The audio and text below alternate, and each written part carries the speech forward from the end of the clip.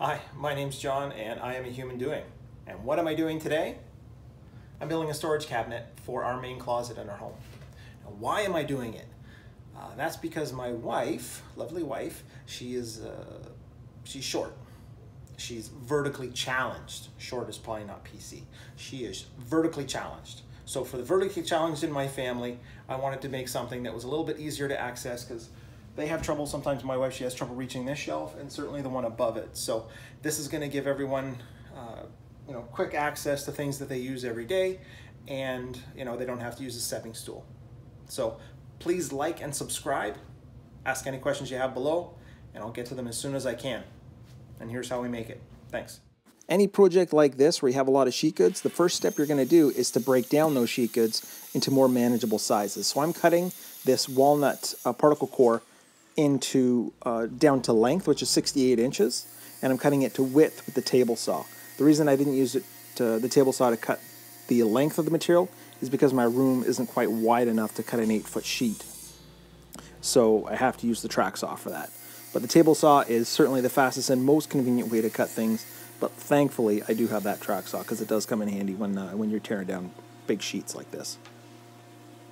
And in this particular case, I'm cutting these uh, sheets at 15 and a half inches wide. All three of them are the same, and what I'm cutting here are two sides and one back, but they happen to be the same dimensions. The shelving won't be symmetrical, meaning the shelves aren't evenly spaced all the way down. So I want to make sure I mark the top, and I'm just doing that where I'm, I'm just putting a pencil mark T for top, and that allows me to, to know where to put the dados. As you can see here, I just did a sample. I set up a dado stack for half inch wide, and I'm just checking it. I just grab a piece of scrap material to check it, and I'm using the table saw to cut those dados. Now, one convenient part about this particular project is the back and the sides are all getting, like I mentioned earlier, they were all the same dimensions. They're also getting all identical dados. So uh, up until a certain point, all three pieces of this walnut uh, particle core, they're going to be identical. So I'll make the same cut three times. So one setup, three cuts, makes the pieces identical, which certainly makes uh, a project like this go really, really quickly. Thankfully, because uh, I only had a day to do it, so that was nice. But I should also comment that you don't have to do dados. Uh, you don't have to have a table saw for this particular project. You could use your local big box store. They can tear down the sheets for you as long as you give them the dimensions that you're looking for. And you can just do butt joints, you can screw it together, nail it together. If you have a Kreg jig, you could do that. So that's certainly not mandatory. So this is where the panels become unique, I guess. So the left and right side are both having a groove put in them. It's on the back side. So one groove in either of them, again, but it's opposites or they're mirror images.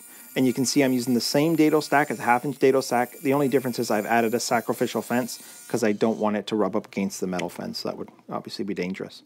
And one thing I, I still have to do is the groove on the top of these panels. I couldn't do it on the table saw on that uh, on that sacrificial fence sta dado stack that I had set up because my table saw or my room isn't quite wide enough, like I mentioned earlier, for when I was breaking down the material. So I'm using a small uh, a small router and just a, a half inch spiral bit, and that's uh, to do grooves. That does an exceptional job. You could do all your grooves this way, but because I have the table saw, that was the easiest, fastest way to do it. But this is certainly an option if, if you have a router. And here's all three panels finished, laid out, and ready for assembly. Yeehaw! so you can see assembly here. I didn't show the cutting of the, the, the shelves. That's just redundant from what I've, you know, from what you've seen previously because it's really just cut on the table saw. But you'll see here when I'm putting it together, because I use the, the dados, I put the grooves in there, projects like this go together like uh, like Lego blocks. It's really really straightforward, really simple, and you're going to get a really square finish. You don't actually see me checking square very often, but trust me, I'm I'm checking all the time. And I'm actually using a small hand square here just to mark lines so that I know where to put my nails. Uh, if, if you're in woodworking or, or if you're not, I'm sure you can imagine putting a nail through a finished project or if your nail pokes out through, it sucks. So you want to mark your, your, your nail lines, and I'm just marking it right up against the center of that, uh, the groove for each one, so the nail's dead center into each of those shelves. So with the side, one side, I guess, it'd be the left side, and the back, along with all the shelves, assembled and, and nailed together, it's time to do the the right side. So I want to note with the glue, I'm trying to use enough glue, but not so much that I get squeeze out.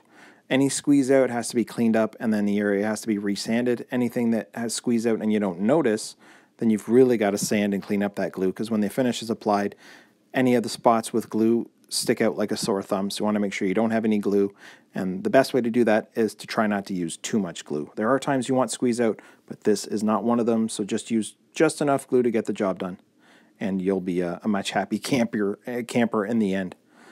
The assembly for all the sides, like I mentioned, is, is just brad nails. You can see me putting them in and it's just inch and a quarter brad nails. That's more than long enough for half inch material. One inch would be fine, but I happen to have uh, inch and a quarter in, in the gun, and I'm like, eh, that's good enough for me right now. And I'm just the if there's any tricky areas for nailing, it was right there. You saw the back, but thankfully with all the marking that I did, nothing poked through, so no extra work. And this is what I ended up with. So this is the finished cabinet, or well, not the finished cabinet, the finished interior portion of the cabinet. But you'll see, you're like, hey, there's a dado there, or that groove and what are you going to do to cover it? Well, I am using solid walnut. They're actually scraps. This is actually material that I was going to be putting in uh, for firewood. But I found a new home for it. I found something a little bit better than firewood. So I just cut pieces to length and rounded the edges over, just obviously because it's a shelf and you don't want to have any sharp edges inside the shelf. And you'll see once I put it in, it looks, it, it, obviously it's, it's all walnut, so it matches perfectly. And it's going to cover up that spot where the, the groove was, uh, where it's kind of not covered. So you'll see here all those caps are put on, so the walnut caps. And you won't see those, uh, those spaces where the dados are, are not covered. My finish of choice, uh, for at least the interior, the walnut portion of this, is the tried and true a Danish finishing oil, which is really just a linseed oil with a varnish mixed in.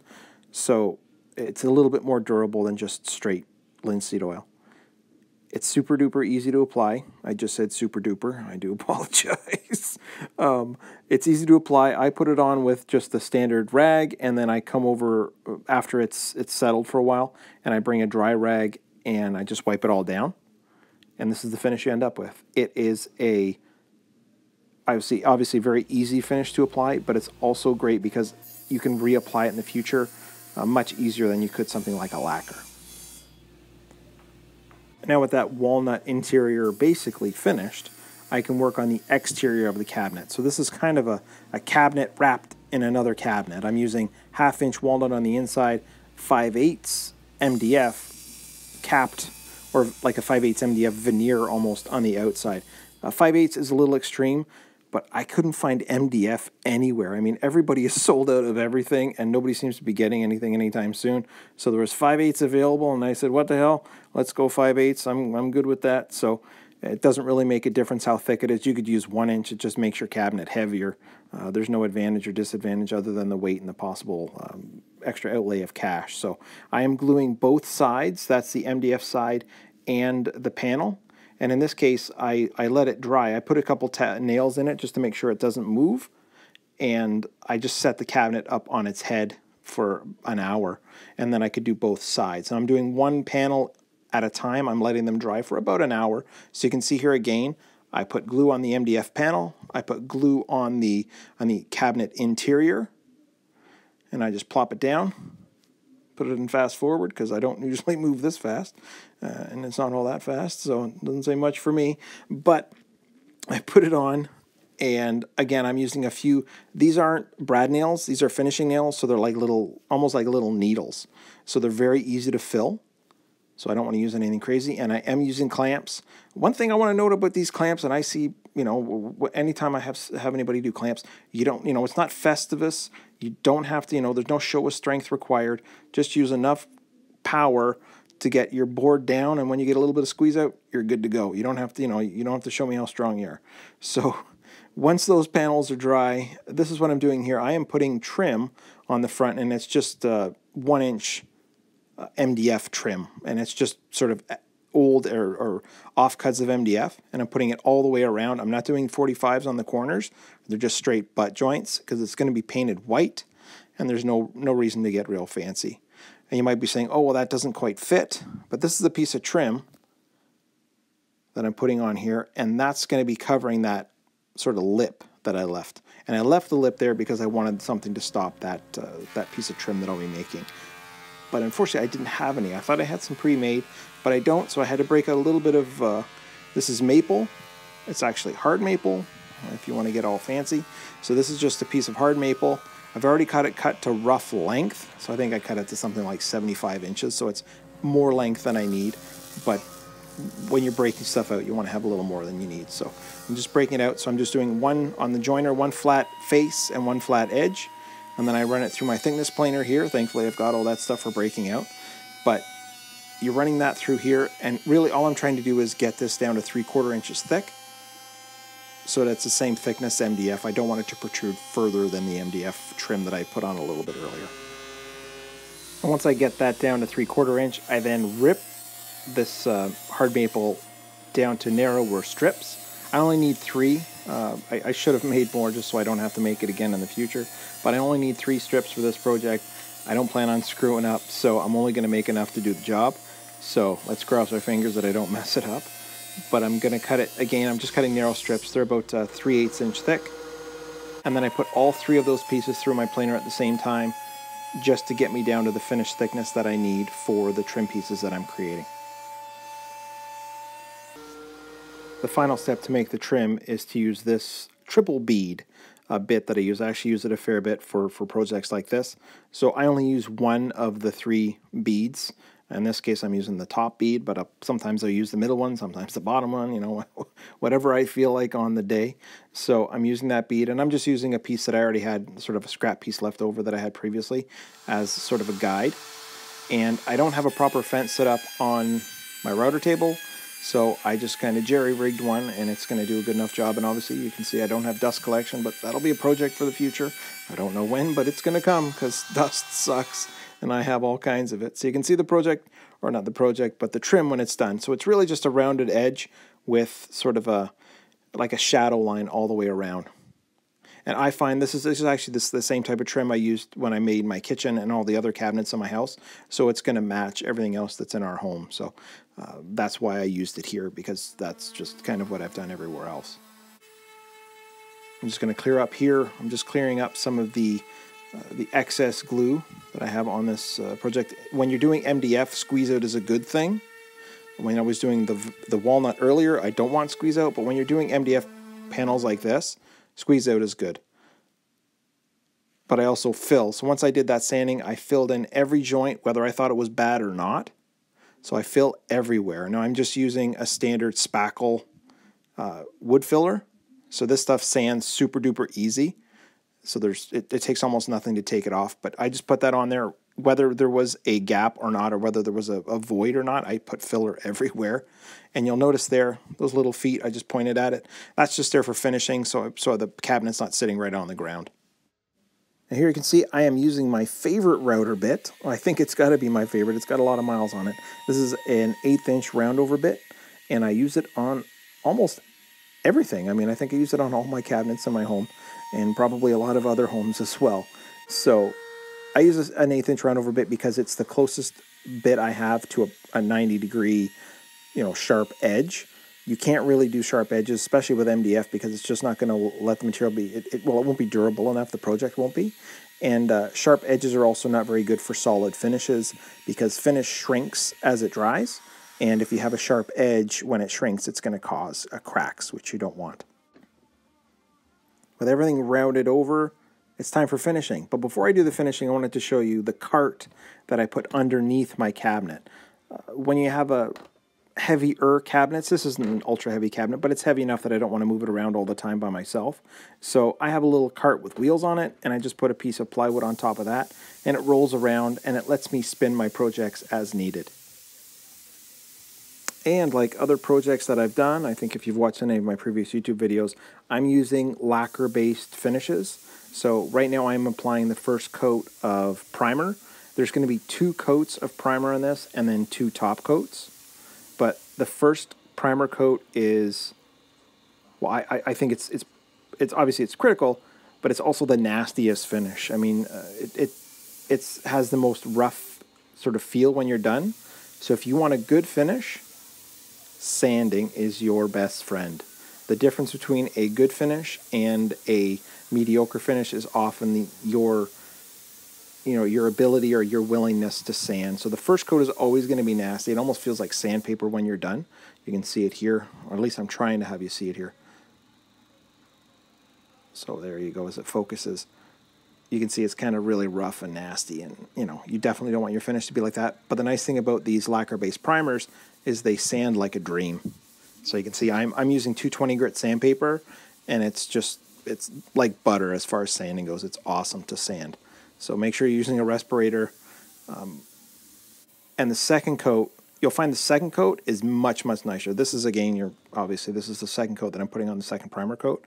And the difference between the first and second coat is night and day. This is a fairly smooth finish. Not perfect, you still want to sand in between, but it's it's a much nicer finish. And this is the first coat of uh, the 20 degree sheen. Uh, CC40 is the color, so cloud cover 40 is the finish, and it's I mentioned it's a 20 degree sheen. So this is a lacquer based product again. This doesn't dry as fast as the primer. I give this about an hour in between coats, and you, but you don't have to sand. So I got two coats of that off, and now it's like magic time. Pull off the paper, just the, the masking paper, and there's the cabinet. Ain't she a beauty? Sorry. Um, so you can see, yeah, it's, uh, you know, the masking did its job. Everything's nice and clean on the inside, and because I pre-finished it, I don't have to worry about getting the out, outside all oily and greasy from that uh, linseed oil. And the only step I have left is to drill holes in the bottom and put in feet. So I just have a just standard sort of a plastic insert with a screw on a felt a foot. And that's perfect for uh, hardwood floors like we have in our home. And there it is in its home. It will soon be full of women's garbage. I'm just kidding. Love you, hon. So there you have it. That is how I built my closet cabinet. I know my family's going to get lots of use out of it, and I'll definitely be able to reach now, seeing as it's uh, down to the floor. So even the shortest of people will be able to use this thing, which is good. So again, I hope you enjoyed it. Hope you learned something. I know my methods of building things can sometimes be a little bit different, but uh, different strokes for different folks. Please like and subscribe. Have any questions, put them down below. I'll get to them as soon as I can, and I'll see you on the next one. Thank you very much.